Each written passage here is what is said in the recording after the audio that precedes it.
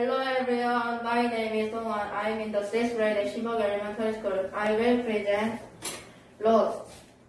Last summer I went camping with my family. My brother and I went for a hike. We didn't pay attention to where we were going and got lost in the desert. We tried to follow the tire tracks back to camp, but the wind had blown most of them away. After that, we checked our compass, it was broken. Finally, I saw something running toward us.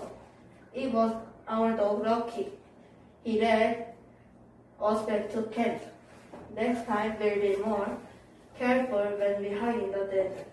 The end. Thank you for listening.